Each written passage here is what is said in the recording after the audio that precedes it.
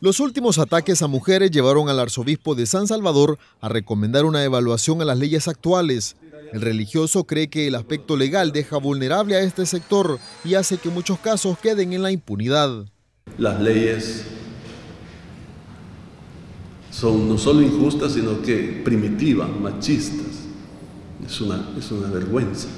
Entonces yo haría un llamado a revisar el aspecto jurídico. Hasta el 13 de mayo, la policía registra 165 mujeres muertas, 26 casos más que en 2017. A pesar de ese incremento, el titular de seguridad dice que el problema era peor hace cinco años atrás y salió al paso de las declaraciones del arzobispo y en su opinión no se trata de cambiar leyes. Tampoco podemos ver el tema de violencia contra la mujer únicamente tras los hechos ocurridos en las últimas semanas. No es justo en el análisis quedaríamos de una forma muy parcializada. La situación del país no solo perjudica a las mujeres.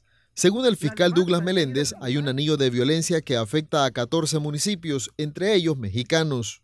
Tiene 21 casos de homicidio más este año que el 2017, pero tampoco podemos dejar de mencionar que Mexicanos ha sido uno de los municipios que ha experimentado una reducción desde la implementación del plan El Salvador Seguro. El funcionario asegura que los esfuerzos en prevención de violencia no se verán a corto plazo y que eso hace difícil convencer a todos los sectores que ese es el mejor camino para reducir la violencia. Merlin del Cid, Mega Noticias 19.